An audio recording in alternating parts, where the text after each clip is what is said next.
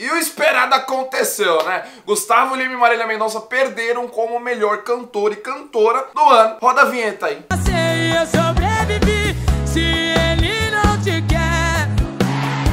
A outra bonito. Bom, eu sou o Guilherme Bento, você está aqui no canal TV, meu sertanejo, canal mais sertanejo do Brasil. Bom, antes de começar o vídeo, se você acha que foi uma injustiça, já deixa o dedo no like aí e senta o dedo nos comentários aí pra eu saber a reação de vocês, o que, que vocês acharam, se foi injustiça ou não com Marília Mendonça e Gustavo Lima. Na minha opinião, sim. Se inscreve no canal também, rapaz. O último vídeo aí deu bom do Caneta Azul, batemos 300 mil acessos em um dia. Meu Deus do céu, Caneta Azul é forte mesmo, hein?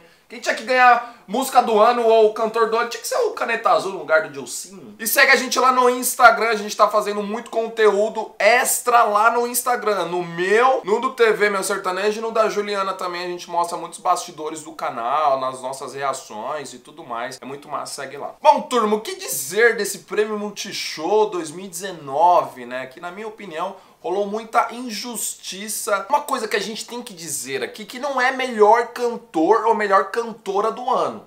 E sim é o fã-clube mais engajado de um cantor masculino e o, o fã-clube mais engajado do cantor feminino, né? Porque não é em, em relação a méritos, e sim a, a, quantidade de votação. Então, se eu for, se eu tivesse uma legião de fãs aqui no canal e lançasse uma música e falasse para vocês votarem lá todo dia, eu iria ganhar mesmo cantando nada, velho. E para começar, quem ganhou a cantora do ano não foi a Marília Mendonça, que tá passando por todos os estados do Brasil e abraçando. Cada estado é 100 mil pessoas, 80 mil pessoas. O povo até quebra o pau lá querendo assistir a Marília Mendonça. Mas não, quem ganhou foi a Ludmilla, que cantou no Prêmio Multishow Bate o Peru na Minha Cara. Sendo que ela nem gosta, né? Vem amor,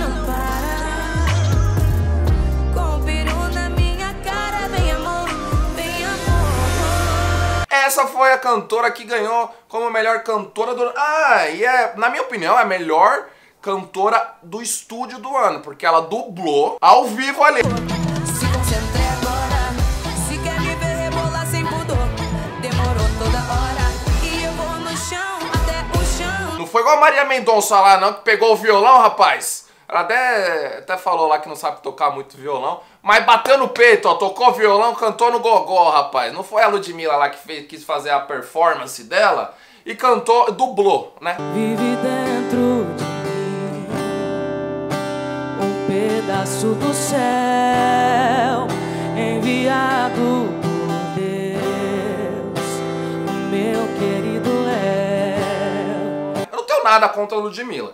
Mas quem deveria ganhar esse prêmio por mérito de tudo, de trabalho, de, de contextualização total da carreira, do momento, é a Marília Mendonça. A Ludmilla, sim, ela tá num bom momento, tá num bom momento, mas comparando com a Marília Mendonça, meu Deus, não tem, não tem como, não tem como. O que, que você acha?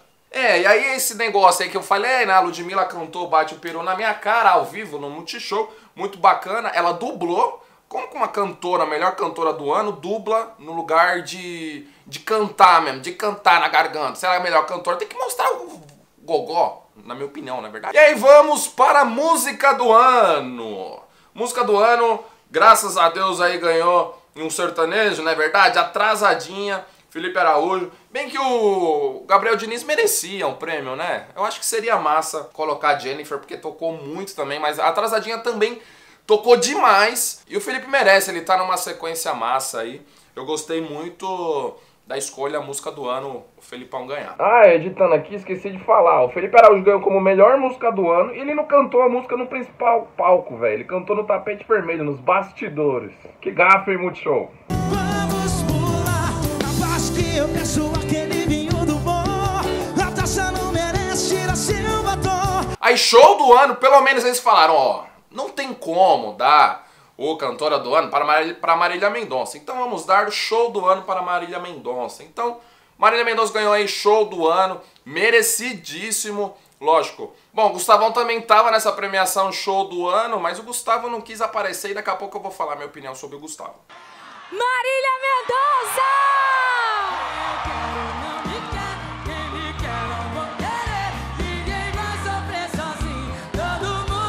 Agradecer primeiramente a quem me fez conquistar esse prêmio, é, que são os meus fãs, que batalharam muito pra chegar até aqui. Eu achei interessante a Marília ganhar show do ano, porque é um show muito pra cima, muito bom o show da Marília Mendonça. Então eu acho que foi, foi merecidíssimo o show do ano a Marília ganhar. Tanto o Gustavo a Marília ganhar, acho que seria massa, porque os dois têm um dos melhores shows aí. Literalmente, os melhores shows aí do, do mercado. E aí, dupla do ano, só faltava Simone e Simaria ganhar, né? Pelo amor de Deus, né? Não é verdade?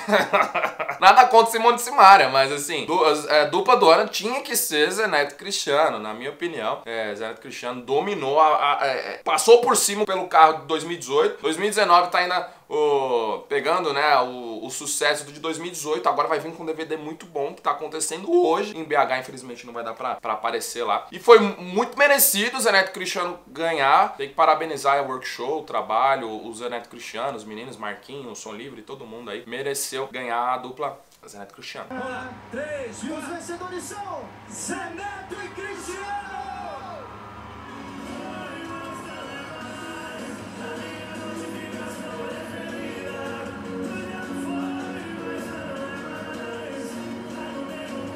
Aí vamos pra cantor do ano, né? É, todo, o sertanejo tava perdendo quase todas, né? E quando chegou o cantor do ano, eu falei, ah, só falta o Ferrugem ganhar. Pelo amor de Deus. Eu, quase, eu tinha meio que certeza, assim, que o Gustavo não ia ganhar, porque, pô, Gustavo, ajuda nós aí também, né, velho? Ele não... A gente fica, fica chateado que o Gustavo não ganhou, mas também o Gustavo tava cagando pro prêmio, não é verdade? Vamos falar a verdade aqui.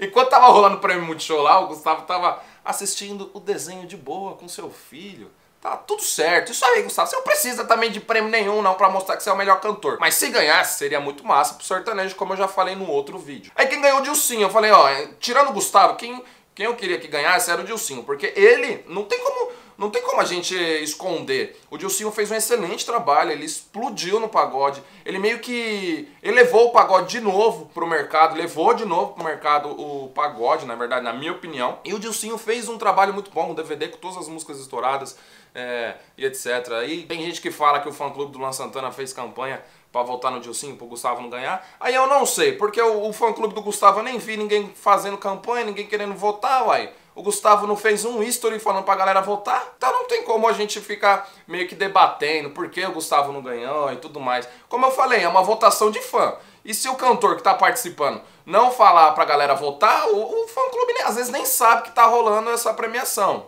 Entendeu? Então assim, galera, a gente fica chateado que o Gustavo e a Marília não ganhou. A Marília deveria ganhar no lugar da Ludmilla, porque ela se esforçou, ela postava todo dia, pedia para outras pessoas gravarem history para ela repostar, para afirmar pra galera votar nela lá no prêmio show como melhor cantora. E a, ela não ganhou, né? Beleza, a Ludmilla tem um, pode ter um fã clube maior, tudo mais. Mas foi um pouco injusto, na minha opinião. Já o Gustavão não ganhar, eu acho que ele não, não tem que provar com o prêmio. Lógico que seria muito massa pro sertanejo, também pro Gustavo essa afirmação. E eu tenho certeza, se o Gustavo fizesse a campanha pra galera votar, a galera iria votar e ele iria ganhar. Porque eu fiz uma votação aqui no meu canal, lógico, aqui é canal de sertanejo, né? Mas ele ganhou com 81%, massacre, assim, né? Então, tipo, se o, o fã-clube mesmo a galera do Gustavo Lima quisesse votar nele para ele ganhar, ele ganharia com os pés nas costas. E aí, galera, eu quero a opinião de vocês. Comenta aí o que, vocês acharam. Tem, tinha que ter um prêmio nacional da música brasileira, né? Eu acho que seria mais, mais interessante. Mas, infelizmente, o prêmio Multishow aí é o mais valorizado da música, todo mundo é um hype absurdo o prêmio Multishow, na verdade. E aí a gente tem que ficar com as regras do prêmio, né? Que é a votação do público, que não é pelo merecimento, mesmo pelo trabalho que está sendo feito e tudo mais. Então a gente tem que aceitar, galera. Então, galera, deixa o dedo no like aí, rapaz. Se inscreve no canal, espero que vocês tenham gostado do vídeo aí, dê minha opinião. Eu quero a opinião de vocês aí nos comentários. Segue a gente lá no Instagram, tem muito conteúdo massa extra lá no meu, do TV Meu Sertanejo e no da Juliana. E tamo junto!